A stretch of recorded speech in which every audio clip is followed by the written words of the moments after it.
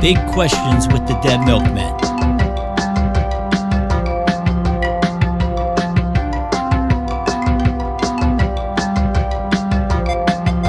My uh, question for this week is uh, what do you like most about yourself?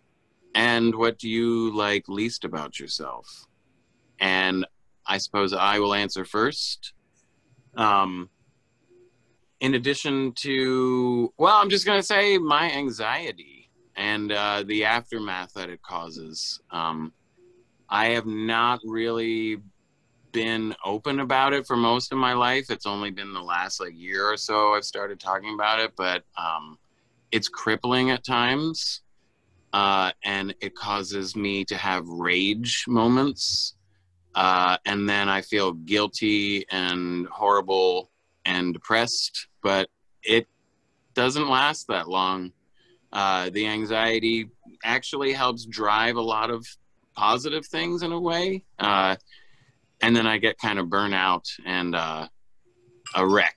So uh, I really don't like that. Um, I'm actually in group therapy trying to fix that, um, uh, or cope with just the fact that that's part of who I am. Um, but something I like, what I like the most about myself, um, is that I feel like I could like anybody. I feel like I could give anybody a chance. I feel like when I meet someone, they got a clean slate, and um, I don't know. I just even though I'm I'm talking about I have my anxiety issues, I really like people. Um, I get a little nervous around them sometimes, but I truly believe that people are good at heart, and um, I like that about myself. Um, it's it's it's slapped me in the face a few times in life, but I do like it. I'm not going to change that. So that's my story. You sticking to it? Yeah, for now. Yeah, if, you have, if you have anxiety issues, we're the three guys you want to be in a band with. It's not going to aggravate that. Also, we will be charging you for this as a group therapy session. I let's see. Um, I have kind of two answers for each of the sides of this question. Um, I like um, I like my hair because I can grow. I can I can still grow it. Sorry, Rodney. oh, I have anxiety. yeah, I'm pretty happy that I could still grow hair. I, I look at my father; his hair is is thinning, so I'm probably going to end up there. But I've got like maybe 20 20 more years to go. So I'm pretty pleased about that. Um, the other thing I like about myself, and it kind of is related to Dan, is um, I'm generally uh, I think I'm generally a nice person, and I try and give people a chance. Um, but the inverse of that is maybe something that I don't like about myself, which is I put up with crappy people sometimes, and that's not good. Mm-hmm. So, you know, the phrase "shut the fuck up, Donnie" comes to mind. uh, but um, if if that, if you want me to to name a or, or to, say something that I dislike about myself, uh, I'm I'm pretty um, unhappy that my eyesight is really bad. Uh, I guess one of my fears is that maybe I'll go blind someday. It's not that bad. I can still see, and in fact, it's stabilized. But without my contact lenses or glasses, I can only see about three inches in front of my face, so it's pretty bad. So I wish I had better eyesight. Anyway, there's my answer. Good answer. Um, what I like about myself, I'm going to throw, since Dean got to do two, I'll do two because I just thought of something. Uh, first of all, uh, uh, same job for 10 years, same wife for 26 years, been in the same band for 40 years. If I click with you, I've got your back forever. If you got to move, you call me. I'm there. I, I would take a bullet for any of you guys. I hope it never comes to that. Um, but yeah, I would, you know, so I mean, I, I've, I'm I'm there and and and I commit very much. Um, the other thing I like about myself, and I didn't know this until my wife of 26 years told me this a few years ago. My shit is really together. Um, I, I lead my entire life by you know I, I do have an office in a, in a large building. I lead my entire life by calendars, clocks, to-do lists. I know exactly what I'm going to do. Boom, boom, boom. Um, and I was not for the first part of my life. I was nothing like this. I was a fucking disorganized mess. And about 23 years ago or so, I got my. I was working my first, first sort of real job coming up through. Um, the ranks. And remember, I'm in my 30s at this point because I've been in band for years, and uh, um, you know, got a nice area to work in and everything. And one of my coworkers came over and he saw the mess that was my desk, and he said, "I like working with you. I'd like to continue working with you, but if you don't start getting organized, you're gone." And I made the mistake of saying, "Well, I grew up in a very disorganized household." And for the next 15 minutes, he ripped me a new asshole he was like, he was like, oh, I see. That's why Congress passed a law that said you can't straighten up here. And he just went boom, boom, boom. Like you can't put a cat, you know. And I thought I could have gotten really, really mad at him. Also, uh, well, explain. I could have gotten really, really mad at him. But what I did was I decided no turning point. and I got organized. I went out and got a, a book called Organized from the Inside Out, and I began. And it's been like a path in my life. So I wind up where I work being part of a lot of assignments because I can say, okay, you do this, this, this, and this. You get back to this person. And for somebody who started off in a punk rock band, it seems very odd, but it's something I like about myself that I can do. Um, I, know I'm going to do this, that, and the other. And the other thing he told me was, I should, I didn't decide this too. Um, I never thought of this. Uh, after he was done sort of dressing me down, you know, and, and, saying, this is, you know, you need to get your shit together. Um, he said, as he's leaving, he said, and you can never go wrong with the white Oxford and the black pants and I have an entire closet full of uh, white Oxfords and black pants. And that's why whenever you guys would see me come from uh, from practice, that's what I'm wearing. It's almost like an homage. Uh, he really did, really did change my life and sort of uh, um, put me on that path. So that is, I, I totally changed. I was a completely different person up until that point. After that, companies, you know, trust me with stuff, which is again kind of scary if you've ever seen us live. So that is the uh, um, the thing I like about myself. Um, the thing I uh, the thing I don't like about myself. Um, about 12 years ago, I misplaced my keys, and uh, oh, it's bad. Um, so uh, what happens is I, I don't have anything I don't like about myself. I don't think anybody should have anything they don't like about themselves. If you have something you don't like about yourself, work to change it you can do it. You can actually pull it off. You can be a completely different person. Um, and and I, I heavily, you can go down that path. There's nothing, like I say, I grew up in a disorganized household. I'm an organized motherfucker now, as you can see by, by the fact that everything is in these little plastic containers. And um, look, this is all, I think these are, yeah, these are uh, headphone connectors and these are USB things. I think you should just like yourself and say, hey, if I've got something, Dean, your eyesight, you can wear glasses. You know, it's like problem solved. All right. You know, if you if you got a problem, you can fix it. Uh, trust me, I I I went from being a total mess uh, to to being somebody who actually you know has a sort of real life. So, what I like most about myself, I like that I'm a good cook, and I think it's important, at least for me, because that means I can cook myself things that I like. At least I think I'm a good cook because I like what I cook for myself. uh, so I'm kind of self sufficient in that way. I mean, if I have a kitchen, that is. Um, are you, you self taught, Joe, or did you learn from your, your parents, your mom? No, I didn't learn. I didn't. I didn't learn from my mom. He learned it on the streets, on the tough streets of the streets of West Philadelphia. West Philadelphia, born burning trash cans.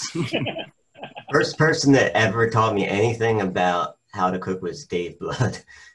Believe it, it's true because I I didn't have to cook until I moved in. then I had to cook. Do you remember what it was he taught you to cook? Uh, spaghetti sauce. Yes, that's oh. all he ever. And spaghetti. But it wasn't spaghetti sauce from a jar. It was actually he taught me how to make a, a sauce. You use cinnamon? He got from his mom, huh? No. Uh, green peppers. Ooh. A little bit of sugar to take out the acidity. Sugar. Yep. Take out the acidity. some salt, some oregano. Right. Oh, good questions. It's recipe time. I should make a cookbook, actually. I should be somebody else didn't say my hair. I'm sorry about that. And then the second, the second question was, the second part of the two-part question was, what do you like least about yourself? And I like the way that was phrased because it's not like what don't you like about yourself. It's just what you like least. Hmm. So I say what I like least about myself is I'm kind of afraid to admit to my shortcomings or what I don't like, what I like least. In a way, I'm in a way I'm afraid to confront my inner demons, so to speak. Don't say shortcomings. I've seen you naked. You're hung like a horse. Come on. Oh, you have. Yeah, it depends on uh, it depends on my mood actually. Um, well, From the right angle, you know. if I wasn't bald, I would have been after that.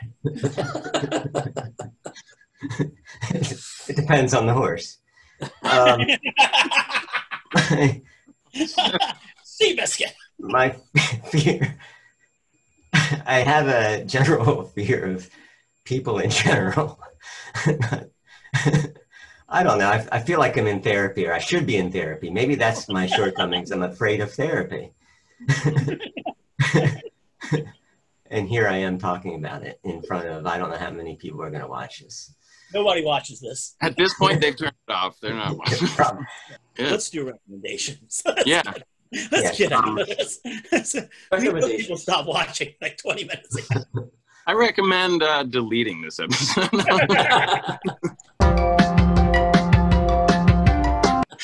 uh, I don't know. I recommend uh, be open about your shortcomings, not just you, Joe, um, and especially you know to yourself, and or you know someone that you um, can feel like you can confide in.